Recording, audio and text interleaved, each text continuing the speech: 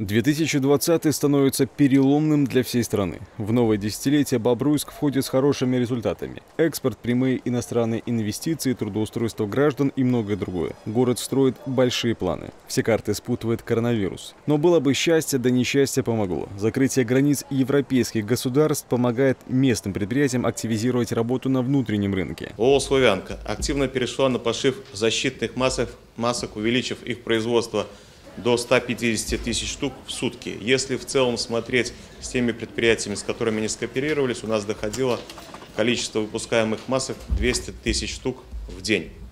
Бобруйский завод биотехнологий нарастил ежедневное производство антисептических средств до 10 тысяч единиц.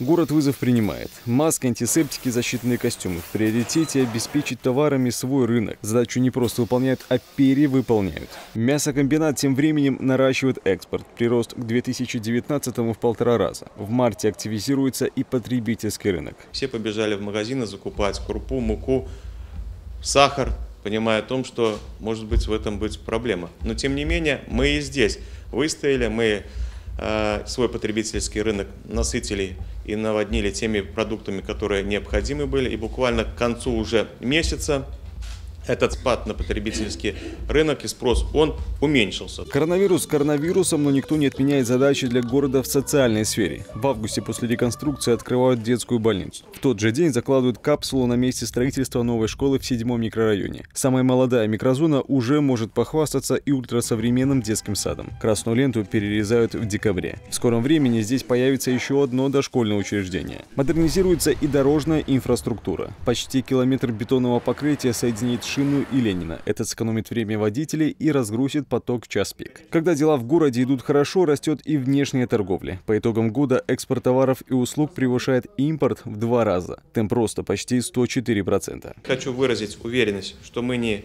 остановимся на достигнутом. Нам есть над чем работать. И самое главное, мы знаем, что нам нужно делать.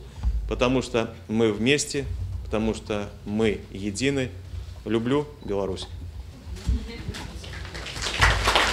Сегодня Бобруйск уже вступил в новую пятилетку, во главе угла которой человек. Ключевые приоритеты – счастливая семья, сильные регионы, интеллектуальная страна и государство-партнер. Максим Кембель, Андрей Богдан, Бобруйск, 360.